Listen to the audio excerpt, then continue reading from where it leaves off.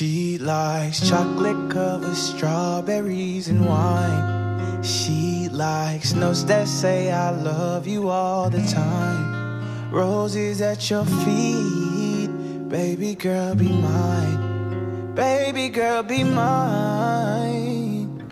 Hello，大家好，我是 Audrey，欢迎来到我的频道。今天呢，想跟大家分享的是我2020年度的半年最爱。现在因为已经是六月份了嘛，所以我觉得基本上上半年的那些最爱用品呢，已经在我心中比较确定了。想跟大家分享一下我在护肤、护发还有身体护理方面发现了哪一些非常非常好用，以及我以后会想要回购的产品。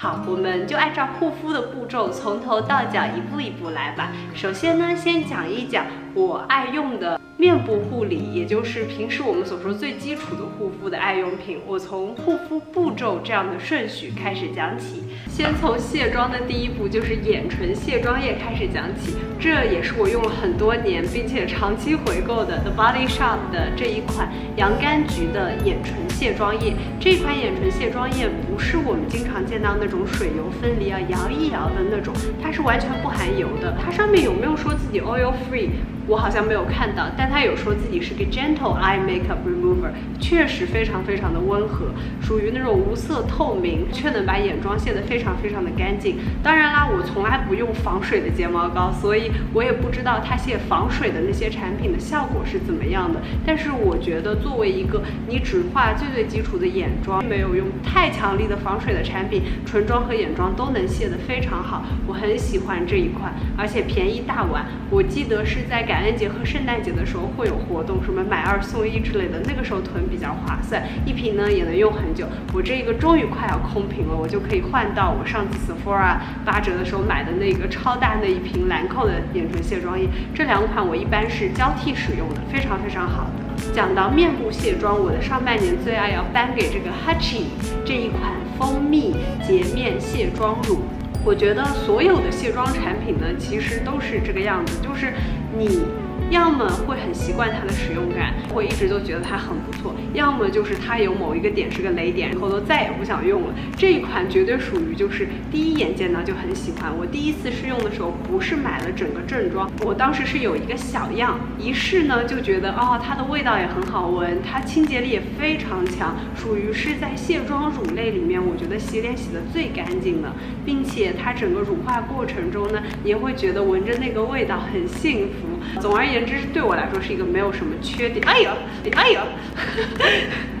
对我来说是一个没有什么缺点的产品，好用到直接从我手上飞出去了，非常非常的好用。我觉得唯一的缺点就是在北美买的不是很容易，属于一个回国的时候找代购买比较方便的一个产品。但至于在欧美买起来比较容易的呢，我上半年用了 Oskia 这一款 Renaissance Cleansing Gel 文艺复兴卸妆凝露，我觉得非常非常好用。这个其实是一个朋友送给我的，我用了觉得哇塞，这个非常的草本，属于卸妆凝露做的最像那种比较高端的卸妆膏的那样一种使用感，满满的 aromatherapy 芳疗的一种感感觉，你涂在脸上好像在做 spa。不过呢，这个我网上有看过其他人写的一些使用心得，好像很多人会不喜欢，觉得它比较卸不干净，比较油润。所以呢，我觉得这首先肯定是一个适合干皮的产品。其次呢，我觉得它还有一个，就有的人会说是糊眼睛，在我身上并没有发生这样的情况。但如果你的眼睛属于偏敏感一点点的，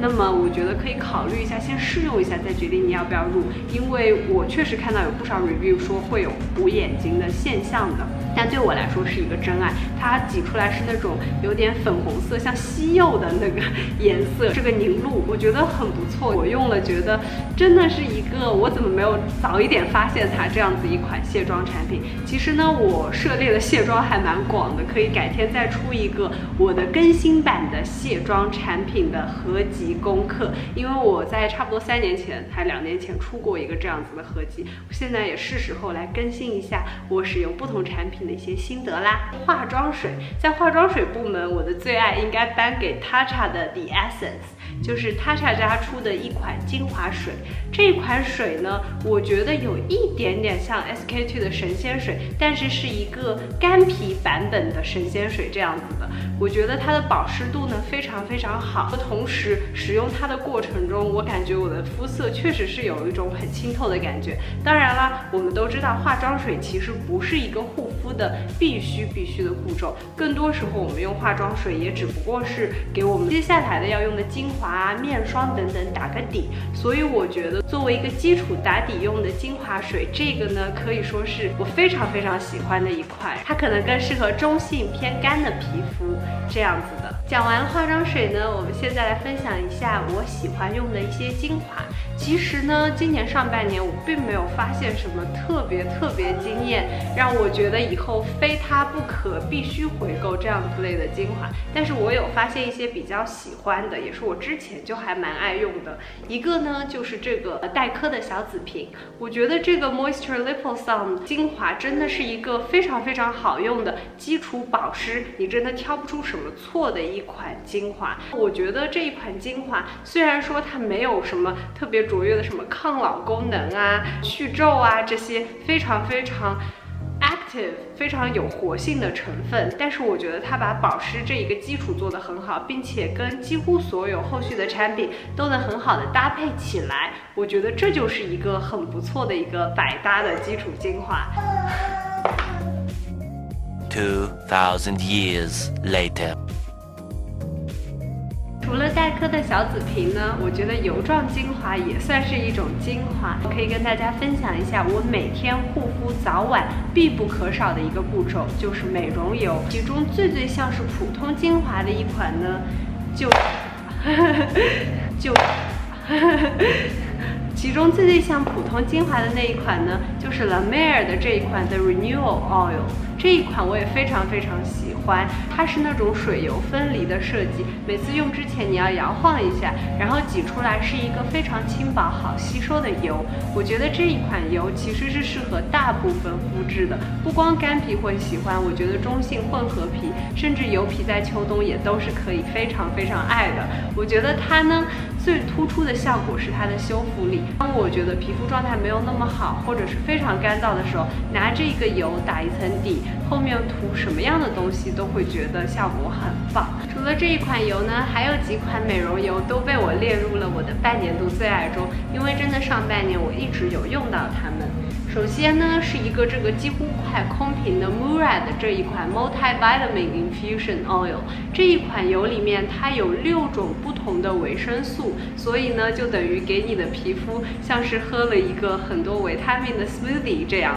子。我非常非常的喜欢用它，它属于是比较偏向于那种 dry oil 的质地，它非常的好吸收，不像是普通的油，只有大干皮才喜欢用。但是我觉得这款油是大部分肤质呢也都会觉得非常好吸收的一款油，它的味道属于很清淡的一种味道。并没有什么特别的，流动性也比较高。我觉得这款油真的还是不错的。我这一支呢是比较大的，十六毫升的，它一般也有三十毫升的那种大小可以卖。所以大家如果想要尝鲜的话，可以先从小的装试一试。如果喜欢，可以再买大一点的。这款油真心很不错。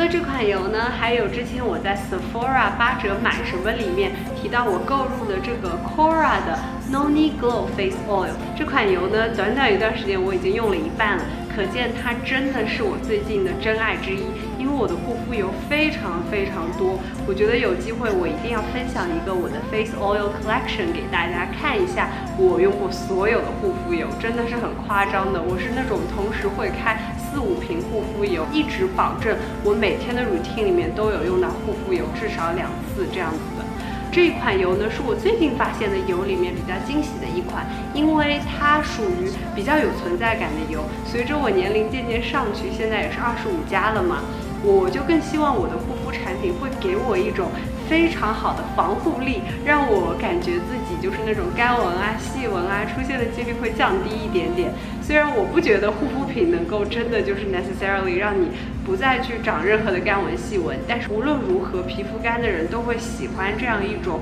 很滋润、很滋养的感觉。这支油呢就有很好的做到这一点，用量不需要多，一点点就会很滋润。还有最后一瓶想要跟大家分享的，我这爱用品类里面最多最多的就是油，一共有分享四瓶。这一款也是我最近买的，之前有做过 Herbivore 这个品牌的 review，里面有提到那两款油我都很喜欢。但是上半年我用的更多的是 Phoenix 这一款，虽然看上去我用的没有那么多，但是考虑到我同时看那么多油，其实已经算是很爱用的一支了。我觉得接下来渐渐步入夏天，我可能会更多想要用。Emerald 那一支绿色的，因为那一支呢会质地稍微轻薄一些，更适合夏天。但是我觉得在之前，就是从冬天到春天这个过渡，其实洛杉矶春夏秋冬都差不多啦，都是比较干燥的。我都是有很爱这一支油。玫瑰果油的基底呢，一直都是我非常非常喜欢的成分，包括我在去除自己的妊娠纹等等，我也有一直在。自己的肚皮上抹玫瑰果油，不是这一支啊，是一支便宜的 Amazon 上我买的玫瑰果油。我觉得只要就是任何想要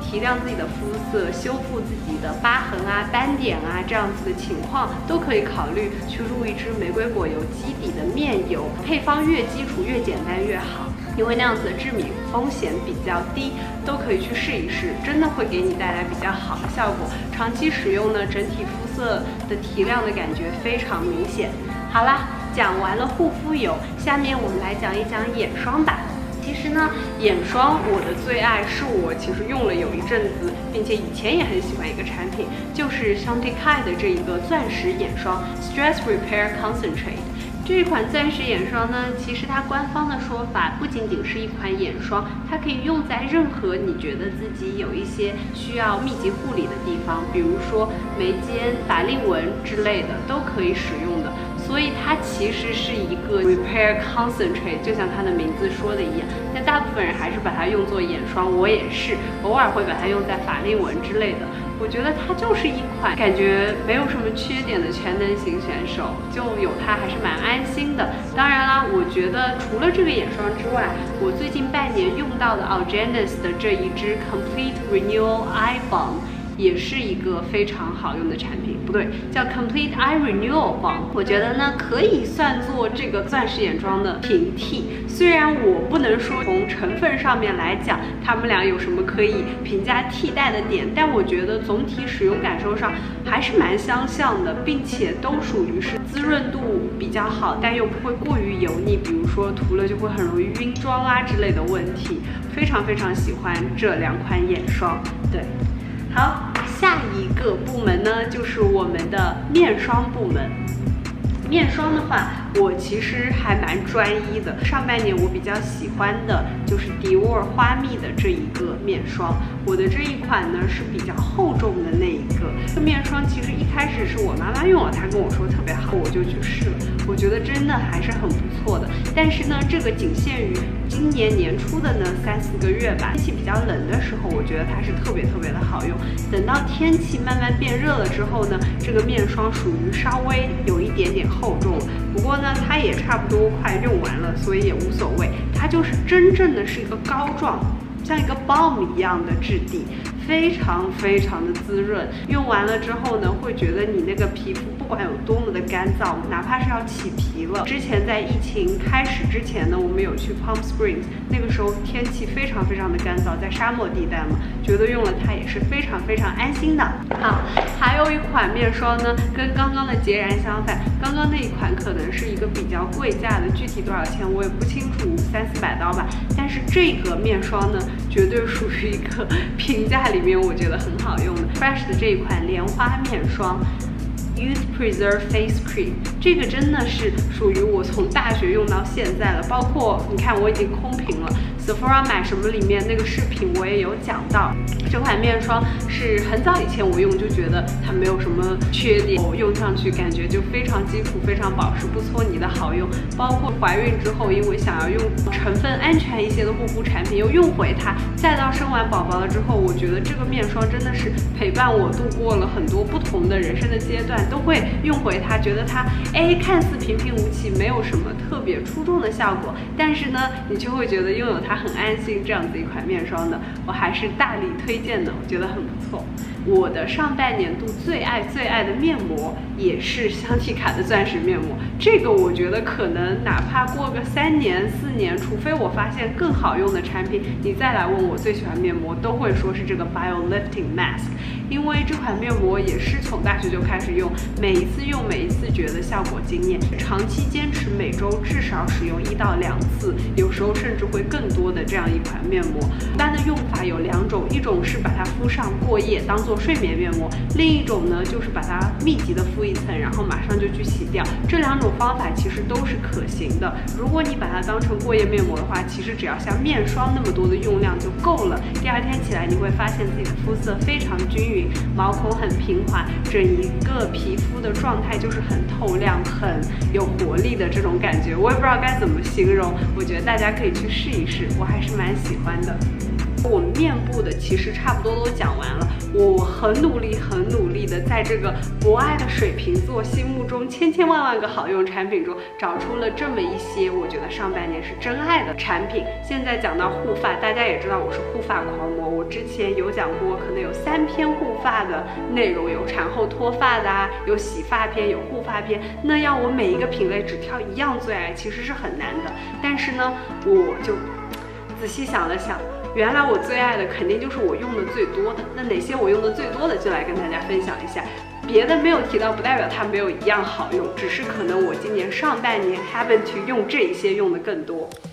好，洗发水，我终于把这个将近一升，不是将近，是整整一升的 Oribe 的洗发水用完啦。昨天我挤出来还有最后一点点的时候，我真的很开心，因为如果大家看过我的护发心得视频，就知道我洗发没有那么频繁，我不可能说是一隔一洗头，或者是每天都洗头，甚至三天洗一次我都不大会的，哪怕夏天我可能最多也是四五天洗一次这样子，头发不是很油的，所以我用一个洗发水格外的慢，哪怕我有这么多洗发水。我也是感觉能用完一瓶，说明我是真的很爱它。大部分情况我是没有耐心能够用完一瓶的。Aribe 的这一款 Signature Shampoo 不光用完了一瓶，这还不是我的第一瓶，我用了不止一瓶。反正就是真爱，你想不到用什么的时候就用它，几乎适合所有的发质，并且会让你觉得整个洗浴过程是一种享受。对我记得它后面包装上面有写，就是很简单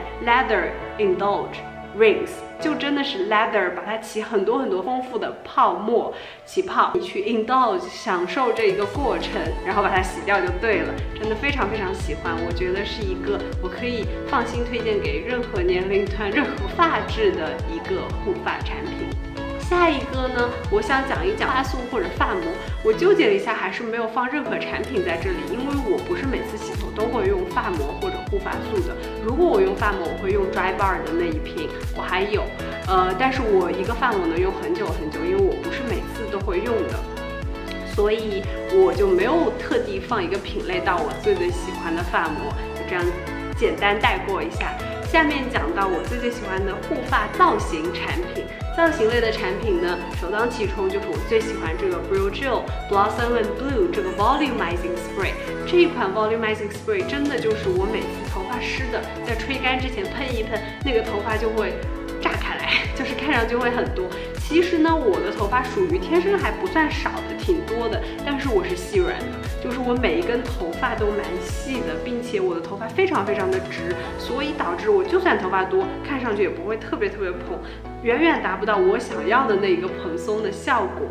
所以呢，我会觉得拥有这么一个产品，能让我的头发刚吹完的时候非常多，自己看都会觉得哇，这才是我真实应该有的那种蓬松的发质效果呀！这样一款产品一定要推荐给大家。我觉得如果你想要一个纯天然的，没有任何乱七八糟的添加剂，它里面说自己没有增加硅啊、防腐剂啊、一些别的硫化物这些成分，是一个很好用的偏天然的护发产品，并且呢，它也确实是一个 Black People Owned Company。你。我觉得大家如果想要针对最近的人权运动啊，支持一下你喜欢的美妆品牌，应该可以考虑这一个。